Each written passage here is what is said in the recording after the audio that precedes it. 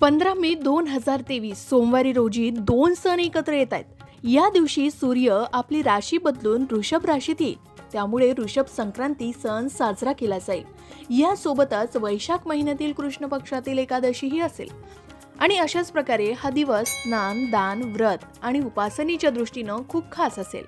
तर स्कंद पुराणात या योगायोगाला महापर्व म्हटलंय. या दिवशी केलेलं शुभ कार्य अक्षय पुण्य देतं असं म्हणतात. चला तर मग जाणून घेऊया पंधरा मेला असणाऱ्या महापर्वाबद्दल सविस्तर माहिती.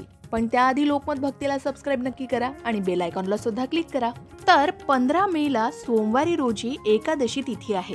ती सूर्योदयाने सुरू होईल. त्यामुळे या दिवशी स्नान दान उपवास आणि भगवान श्रीहरी विष्णूची पूजा केली जाईल. वैशाख महिन्यातील या एकादशीचं नाव अपरा एकादशी आहे. तर याच अपरा एकादशीच्या दिवशी संक्रांतीचा योगायोग सुद्धा आहे. यालाच महापर्व म्हटलंय. सूर्य संक्रांतीच्या दिवशी स्नान दान आणि उपवास केल्यानं अनेक पटींनी पुण्य प्राप्त होतं. सूर्यांच्या राशी परिवर्तनाच्या या सणावर सूर्य आणि भगवान श्रीहरी विष्णूची पूजा करण्याचा नियम आहे. संक्रांतीला पुराणात सण म्हटलंय. त्याचबरोबर एकादशीला महाव्रताचा दर्जा प्राप्त झालाय.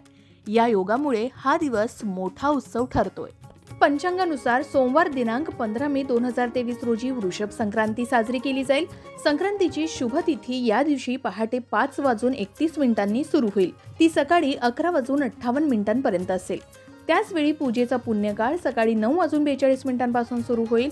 तो अकरा वाजून अठ्ठावन्न मिनिटांपर्यंत असेल. धार्मिक श्रद्धेनुसार या तिथीला पूजा करणं खूप फायदेशीर ठरतं असं सांगितलं जातं. शिवाय या दिवशी अपरा एकादशी असल्यानं या दिवशी भगवान श्री विष्णूची विधीपूर्वक पूजा केली जाते आणि उपवास केला जातो. असंही मानलं जातं की या एकादशीचं व्रत केल्यानं मनातील सर्व प्रकारची भीती सुद्धा दूर होते आणि भूतप्रेत बाधेपासून सुद्धा मुक्ती मिळते. यासोबतच सुख समृद्धी आणि सौभाग्यही प्राप्त होतं. पद्मपुराणानुसार अपरा एकादशीचं व्रत केल्यास गायदान करण्यासारखंही पुण्य प्राप्त होतं असं म्हणतात. हे व्रत केल्यास त्याचं फळ मृत्यूनंतर सुद्धा मिळतं. हे व्रत पाळणाऱ्याला मृत्यूनंतर मोक्ष प्राप्त होतो आणि त्याला स्वर्गात स्थान मिळतं. या व्रताचा महिमा भगवान श्रीकृष्णानेच धर्मराज युधिष्ठराला सांगितलाय. हे व्रत करणाऱ्याला अपार धन मिळतं आणि त्याची कीर्तीही वाढते. या महापर्वात जर तुम्ही स्नान केलं तर अक्षय पुण्य प्राप्ती नक्की होते असं म्हणतात. संक्रांती आणि एकादशीच्या योगात तीर्थस्नान करण्याचे विधान आहे.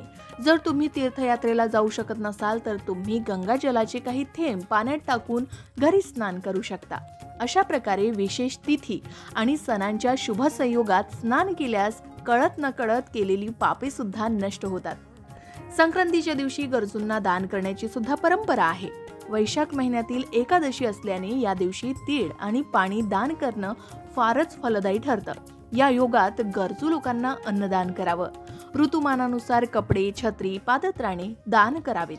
असं केल्यानं मिळणारं पुण्य कधीच संपत नाही असं सुद्धा सांगितलं जातं. तर अशा प्रकारे पंधरा मे रोजी सोमवार येणाऱ्या वृषभ संक्रांती आणि एकादशीच्या दिवशी दानधर्म नक्की करावा. त्याचं फळ तुम्हाला नक्कीच मिळेल. अशाच प्रकारच्या माहितीपूर्ण व्हिडिओसाठी लोकमत भक्ती चॅनलला नक्की सबस्क्राईब करा आणि बेल आयकॉनला क्लिक करा म्हणजे आमच्या नवनवीन व्हिडिओचं नोटिफिकेशन तुम्हाला मिळत राहील.